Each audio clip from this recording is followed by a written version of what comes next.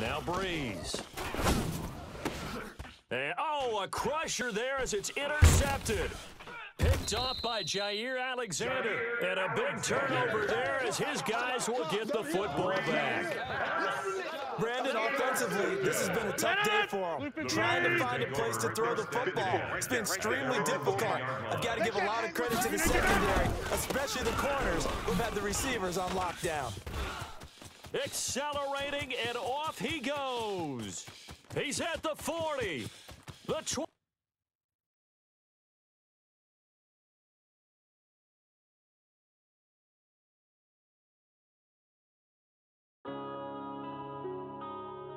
Yeah.